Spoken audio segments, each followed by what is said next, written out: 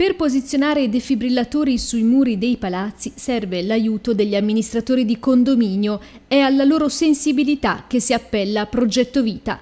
Ci sono infatti 150 defibrillatori di quartiere ad uso di condomini e abitazioni da collocare a Piacenza, concentrati soprattutto nella zona di Viale Dante dove è più alta la mortalità per arresto cardiaco.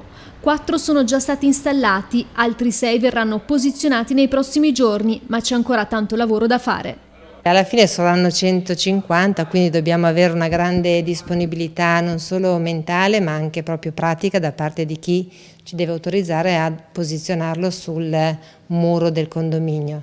Eh, non è un grande sforzo se si pensa che questo strumento può salvare la vita i cittadini saranno poi chiamati a partecipare volontariamente ai corsi per imparare l'utilizzo del defibrillatore, uno strumento che può fare la differenza in caso di arresto cardiaco. Con un intervento tempestivo nel giro di pochissimi minuti sono già state salvate tante vite. Faremo dei corsi che saranno, insomma, saranno per tutti e che cercheranno di togliere quelle piccole paure che possono ancora rimanere nonostante da anni diciamo che il defibrillatore non deve far paura perché fa tutto da solo, decide se è necessario erogare la scarica e solo in quel caso si predispone per farlo.